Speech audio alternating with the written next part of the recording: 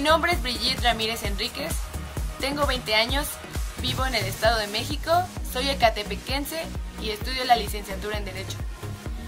Si yo fuera gobernador del Estado de México, la propuesta en política pública en materia de juventud sería la siguiente.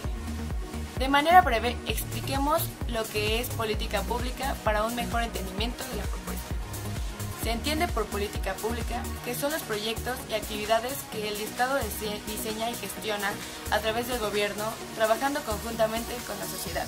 Esto quiere decir que son las acciones que el gobierno pretende implementar en beneficio de la sociedad, con ayuda de esta. La política pública en materia de juventud que yo propongo responde a las necesidades de los jóvenes para obtener recursos que les permita continuar con una preparación profesional. Asimismo, la comunidad presenta demandas diarias como atención a, grupos vulnerables, por ejemplo, adultos mayores, madres solteras y personas con capacidades diferentes. Cuidado y rehabilitación de sus parques y áreas verdes. Conocer los programas que el gobierno crea en beneficio de la comunidad limpieza de sus calles, entre otros. De tal manera se atienden a las necesidades del gobierno de promover los programas de beneficio social a través de los jóvenes.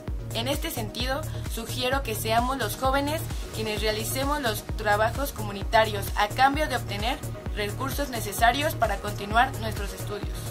De esta manera, los jóvenes estaremos contribuyendo a la mejora de las condiciones sociales en nuestra comunidad, desarrollando una cultura cívica de atención y compromiso entre la comunidad y el gobierno. Y así haremos un México nuevo,